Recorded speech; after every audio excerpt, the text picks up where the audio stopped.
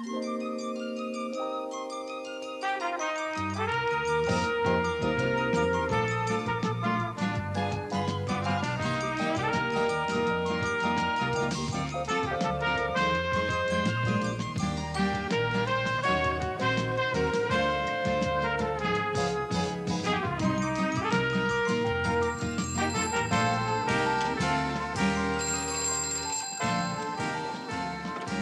one six one. Now, you won't shout, will you, Mr. Paynton? Shout, Iris. Why should I shout? It's the old crocodile from Windsor. Yes, what? Its fillings come out, So I've got another nightmare journey down a crocodile's throat. Go on, Iris. and the Yorkshire Terrier's in again. What Yorkshire Terrier, Iris? No, you're shouting, Mr. Paynton. Every day I say at least four Yorkshire Terriers. Yorkshire Terriers are my unfavourite thing. If I wasn't a dedicated vet, I'd open a restaurant and serve Yorkshire Terriers on toast. It's, uh, it's Mrs. Taylor's. Don't tell me. It's swallowed the rollers again. Afraid so. I looked at the x-ray. What's it like? Vidal Sassoon stock cupboard. You see, Iris, I can't even experience anticipation of surgical discovery. It's just like opening a woman's handbag. Well, what shall I do, Mr. Paynton? Look, Iris, I've got a bloke coming round to see the flat. Now, you keep your eye on it, and I'll be there as soon as I can. Yes, Mr. Paynton. Oh, and Iris, Yes, Mr. Paynton. keep it away from all edible objects, will you? Like swabs, rubber gloves, filing cabinets. Yes, Mr. Paynton. Oh, and Iris, Yes, Mr. Paynton. if the crocodile arrives, put them both in the bath.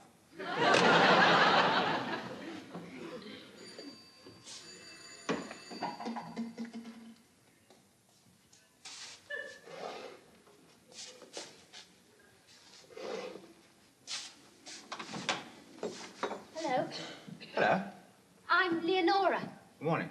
I uh, don't want any cushions today, thank you. Oh, I've come about sharing the flat. Oh, yes. I'm just drying my stocks. Will you excuse me while I go and turn the grill down?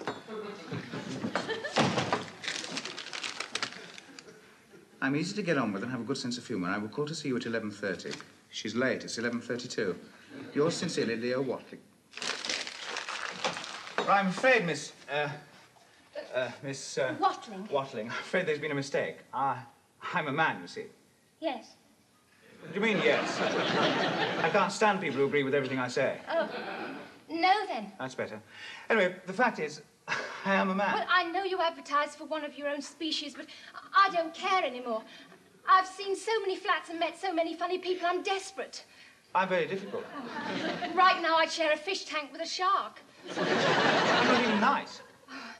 I can't imagine that. Well, there you are. See, you've only been here two minutes and you're arguing with me already. Apart from being a man, I'm also a, a very tidy man. Oh, I'm very tidy. I mean, you might even call me fussy. I can't stand things out of place. Oh, I can't either. And women do do irritating things. They leave the top of the toothpaste. They put oil in the bath. Uh, I don't put oil in my bath. You stepped into a bath after a woman. It's like your first time at the ice rink. oh, and another thing, women cry. They, they always cry. I don't cry. You see, the, uh, the muscle of a man's eye is connected to his brain, whereas with a woman, it's connected to the nearest water mains. And that means... I never cry. so you see, we are quite incompatible. I mean, you put oil in your bath, you cry. I'm very sorry. Thank you. Thank you very much for the interview. Not at all. It's been my pleasure. I hope you find some suitable accommodation.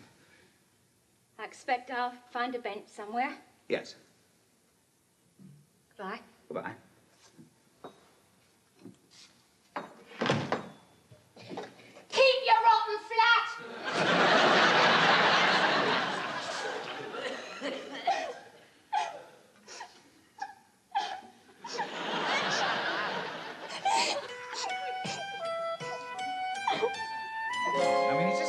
Like you. And if you were to suddenly change into a man, well, then everything would be fine. I'm very adaptable. Well, nobody's that adaptable. Where'd you keep your milk? It's in the fridge. You see, what I'm trying to say is that, well, a man shares a flat with a man, and a woman shares a flat with a woman. Unless they're married, of course, and well, I've tried that. Didn't it work? Work? Of course it didn't work. It never works. When it starts off with that hilarious word called love, doesn't it? And love is like a bottle of lemonade, oh, full of fizz. And then what happens? You wake up one morning and... And find that someone's left the top off the bottle. That's right. How do you know? Well, I've got through a few gallons of lemonade in my time. Don't do too badly with milk either. Would you, would you just please excuse me?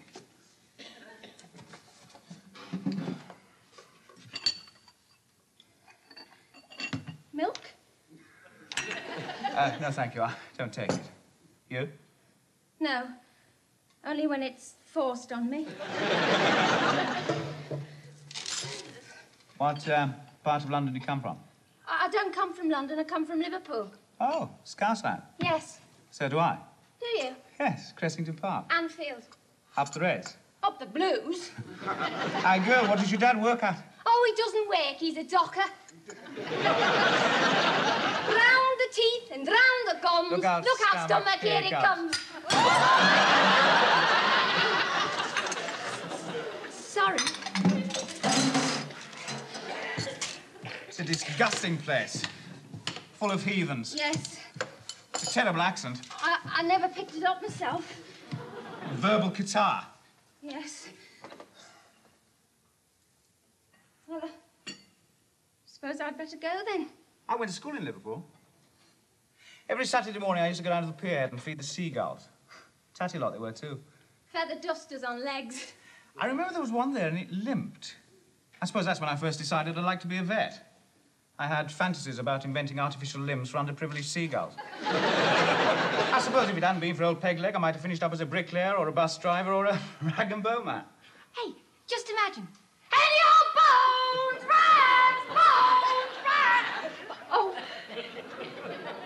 Sorry. Well, I did mention in my letter about my sense of humour.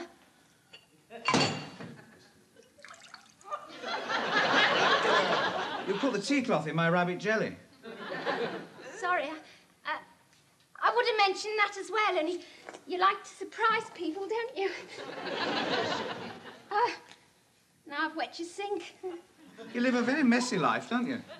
My life's okay. I just mess other people's up. Well, that uh, was a very eventful cup of coffee. Yes.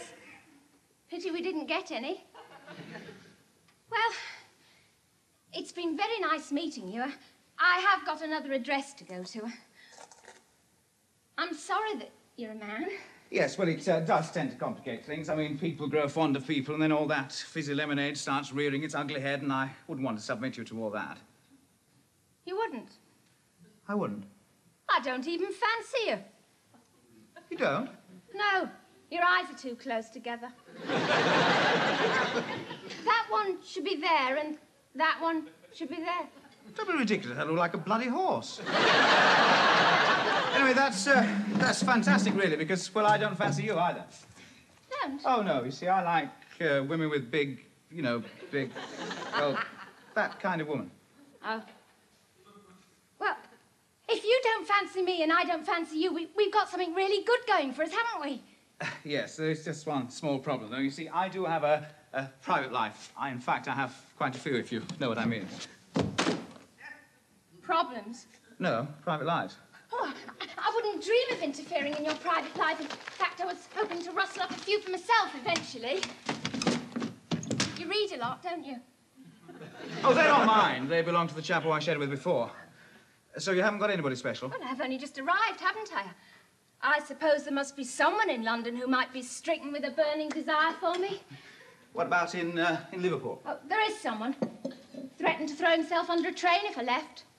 He's a bit intense, isn't he? Doesn't that worry you? Not when there's a rail strike on. Would you like a drink? Thank you. Cheers. Have you ever thought of going in for demolition work? More? No, thank you. I don't drink. Good fool me. Whenever I don't do a thing, I, I do it quickly. Th- then I don't notice I'm doing it. Yes. Well, I suppose there must be a very intelligent message there somewhere. Uh, now, Laura, Leonora. Leonora, we we could try sharing. It might work. There is that cushion of yours. I suppose I'd have to learn to live with it. Oh, it, it is very sentimental. I've had all my best moments on that. Oh, I see. It's much better than a chair. Is it? Chairs are inhibiting. You can use that anywhere. I've led a very dull life. I couldn't do it any other way. My poetry. Poetry.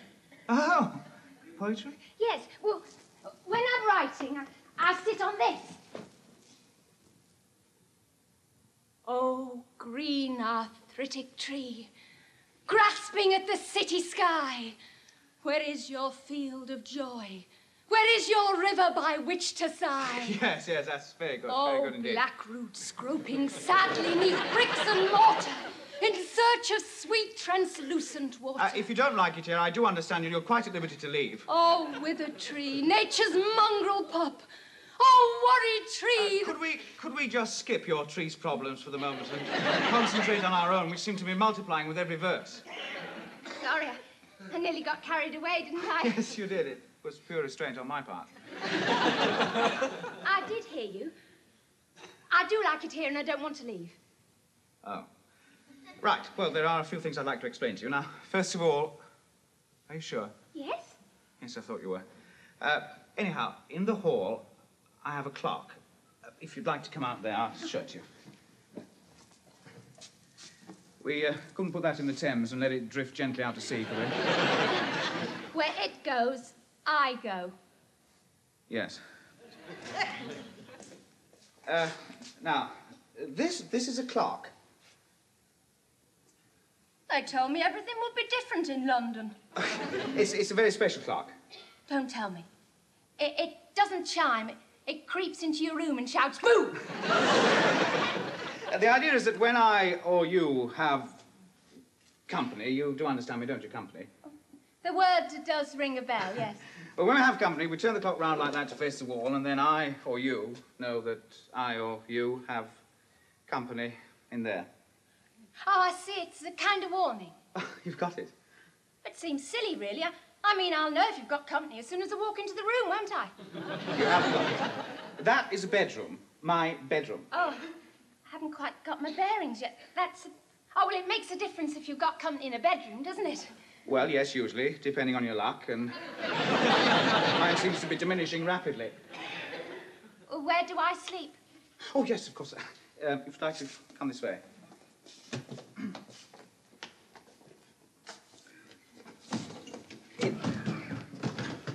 It's, uh, it's a bit small, I'm afraid. Don't worry. I used to be a lift attendant. So long as it doesn't start going up and down.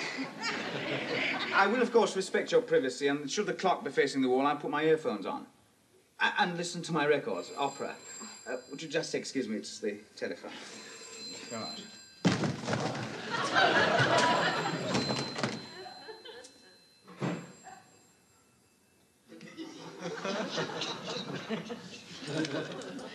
well, can't anybody else do it, Iris? Oh, well, okay. Look, I'll be in about 20 minutes. How's the Yorkshire Terrier? Is it? Well, look, you, if you prepare the theatre, I'll do it at the same time. No, Mrs. Taylor can't watch. I'm doing an operation, not a cabaret. Do you think we could do a swap and it's giving me an inferiority complex? Oh, yes. Yes, of course. The, uh, the chap who had the room before said it took his mind off things. It's funny, it seemed to make sense at the time. Look, if you'll excuse me, that was the veterinary clinic. I've got to go, and I've got a dog to open up and another to put down. You mean you're going to murder a helpless little dog? But I don't murder things. If an animal is old or in pain, I give it an injection and it slips mercifully out of this troubled world and into its celestial kennel. You don't really believe that animals go to heaven, do you? Well, I hope so. Otherwise, when I get there, I'm going to be out of a job. now, if you'll excuse me, I, I would like to uh, put my trousers on. Oh, sorry. Oh, by the way, I hope this doesn't offend you, but I, I always walk about like this. Not at all. If you're going to learn to live with my cushion, then I'll have to learn to live with your legs. La la la la la la la la la la. That's funny. Where's the bacon gone? Oh, there you are. It's no good. She'll have to go.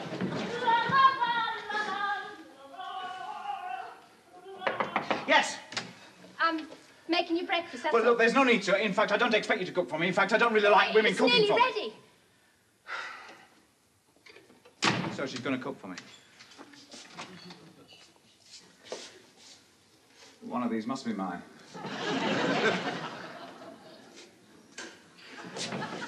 Miss Waffling! You yelled. Look, what's happened? Suddenly my underpants are made of hardboard. I was lacquering my hair. I must have missed. You left the top off the toothpaste. Sorry.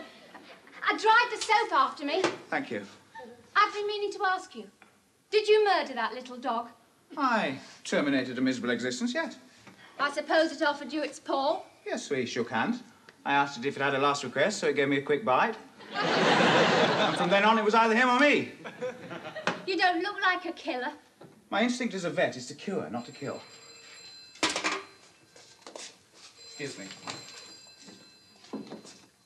It's double one six one. Oh, Angela. Hello, love. Tonight. Did I say that, Angela? Well, I'm afraid it's a bit difficult, actually. I've got my mother staying here. no, I can't send her out. She's 83. Look, Angela, I'll, I'll give you a ring soon. Yes. You are? I can't wait. Okay, bye.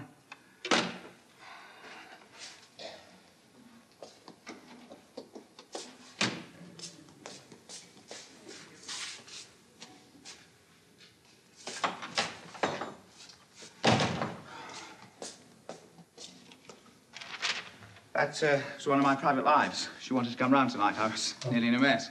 So was I. I'm not even married yet, and I've got a son older than myself. You see, you see, that's what women are like. Two coffees and a kiss, and I'm trapped. It's always the same. It must be very difficult for you being so handsome. Yes, yes, it is actually. I suppose you wake up every morning and think, God, how am I going to live with all this maleness?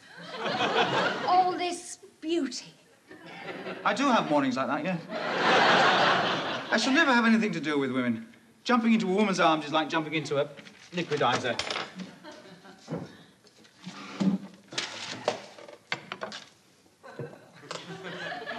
What's this?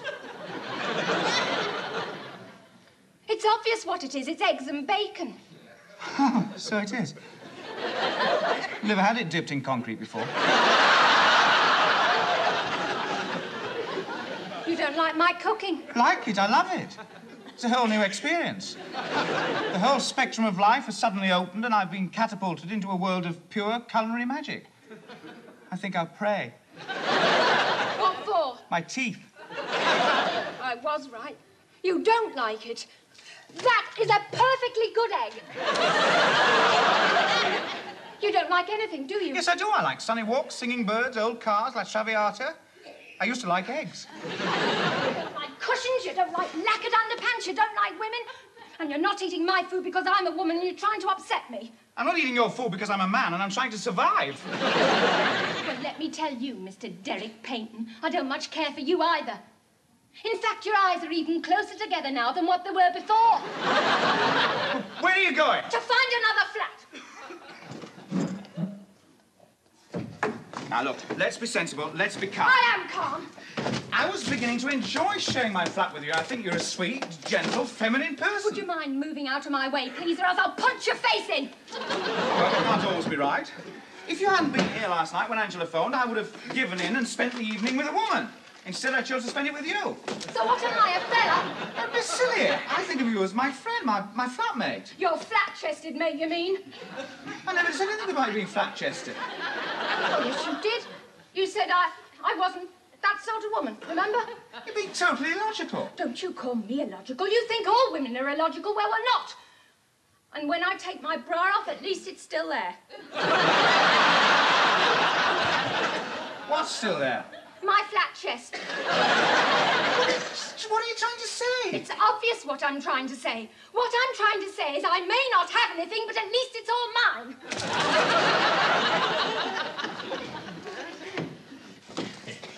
If we're going to, if we're going to continue with this ridiculous conversation, may I remind you that you did go on about my eyes getting even closer together, and they are mine. In fact, I quite resign myself to the fact that tomorrow morning I could wake up with just one big one right in the middle. Then you'll have to get yourself a good vet, won't you? I know it's a hobby of yours, but you're in the way again. There you are, you see. Now, you've got that common sound about you again. Oh, I'm sorry I don't come up to your standards, Mr. Ex-Liverpool Whacker. But I've only just bowled into London. and I've still got a wooden spoon in me gob.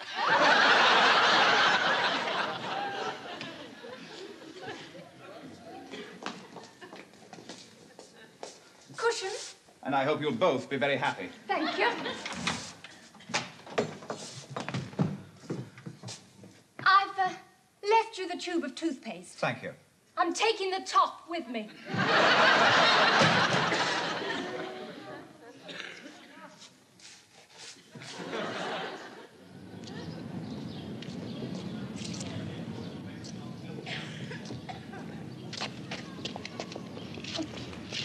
Excuse me, can you tell me where the nearest phone box is, please? Yes, darling. Take four paces backwards, turn right, two paces forwards, and give that to the nearest couple on your left.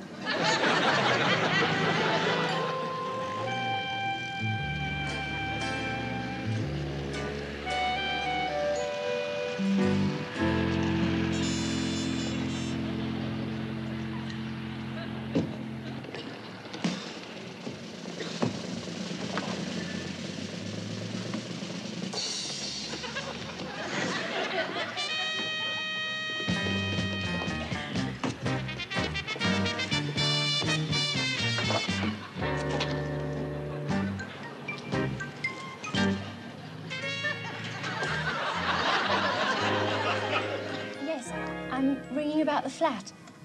Have you got anyone to share yet? You haven't? Oh, good. Well, I'll be round in about half an hour if that's all right. The tube? Yes. Piccadilly line? Yes.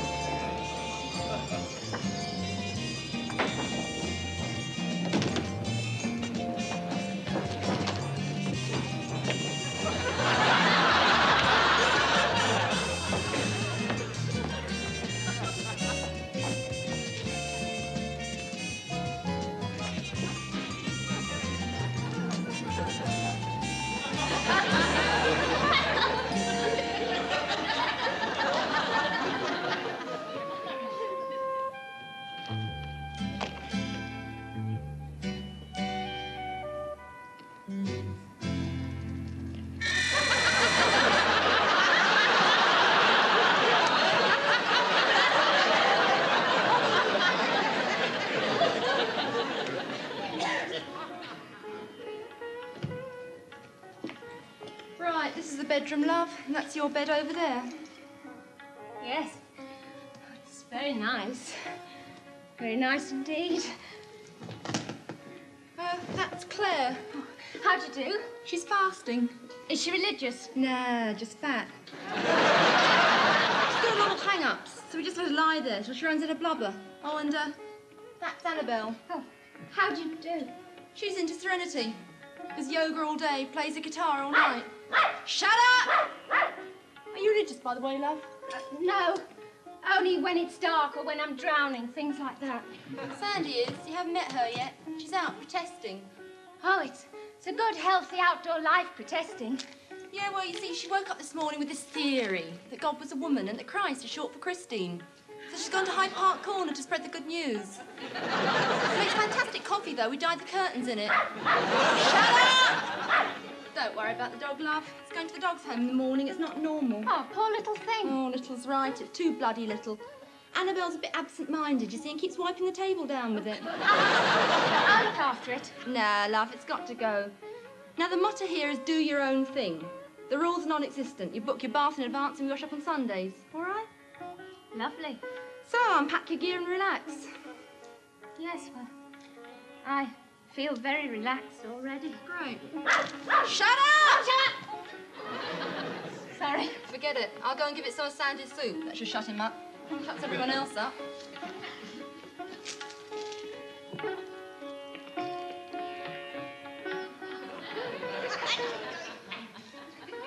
He's following me. Darling, mm, Darling. If I took all my clothes off and stood on my head on the table, would you notice me? Well, of course I would. You'd be blocking my view. Isn't there anything about me that might take your mind off the television? You're not afraid of me, are you, darling? Oh, Angela, you like all the rest. You're wearing an easy access dress, perfume laced with ether, and you've taken the phone off the hook. Mm. I mean, a man's got to protect himself. It, mm. it takes courage and, and willpower, but Say those three. Say those three little words for Angie. aneurin primidine oxytetracycline. I know. It's I love you in Latin. No, it's three treatments for distemper. Don't worry, my darling. I don't want to marry you. I'm a fun girl. Really? Really? Oh, oh, hell, who's that? Oh, don't answer. No, I've, I've got to answer. Might be a horse. You say that. Go back. Go back.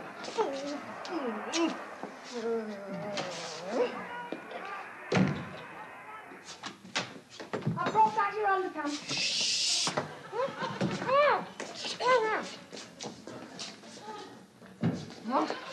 So you've come back? You are there? Oh, I thought this thing might have come back on its own. It did try to escape, but I was too quick for it. What happened? If you have a dog in tomorrow with a stomach full of stuffing, that's what happened. you nearly laughed. Yes, I just managed to catch it in time. Look, I've just got to go somewhere very quickly. Now, don't go away. Take your coat off. Go and have a nice bath. Uh, put some oil in it. Have an oil slick, but, but don't sing. Please, don't sing. Two minutes. Darling. It's, uh, it is a patient. It's uh, a pet mouse. It's very nasty. Somebody ran over it with a tea trolley. The owner's very distressed. Oh, shall I go and console her? No, I wouldn't go out there. It's very nasty, you know, a lot of blood and things. Oh, dear. Now, don't worry. I'll go out there and put it back all together, and then I'll be with you in two minutes. All right? Now,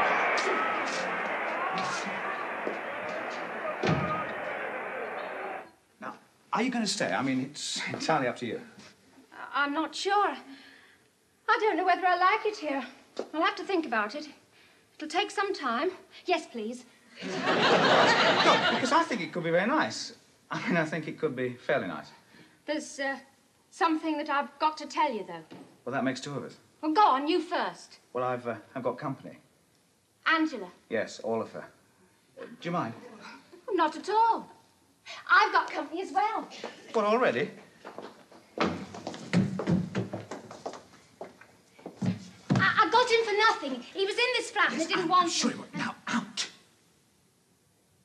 Out. It's English for go. Derek, it, it's only a little. I know what he is. Now, out. Derek. Listen, sharing my flat with a woman is a problem. Sharing my flat with a woman and a Yorkshire Terrier is just impossible. Now, if you'll excuse me. Mind you, on the other hand, it might become useful. Somebody's got to eat your concrete bacon and eggs.